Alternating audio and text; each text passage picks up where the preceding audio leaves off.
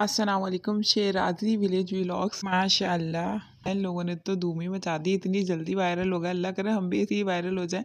तो खैर मैं आपसे बहुत टाइम से एक बात करना चाहती थी कि मेरे पास भर भर के डिमांड आती थी इस चीज़ की। मतलब इस चीज़ की बरसात हो रही थी ओले पड़ रहे थे। फरमाइशों के कि खाल डॉट कॉम पर अकाउंट बनाए वगैरह अपनी रेसिपी अपलोड करें।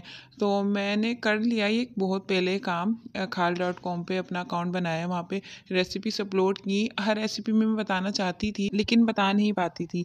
वीडियो जब मैं बनाती हूँ उसको फिर वॉइस ओवर जब मैं करती हूँ तो मेरी कोशिश ये होती है कि हर एक से एक बात आपको मैं बताऊँ, ताकि आप कमेंट बॉक्स में मुझसे कोई भी कन्फ्यूज़न आपको हो ही नहीं, आप मुझसे कुछ भी ना पूछें, बस जब आपको बनानी हो तो आप आसानी से वो रेसिपी बना लें।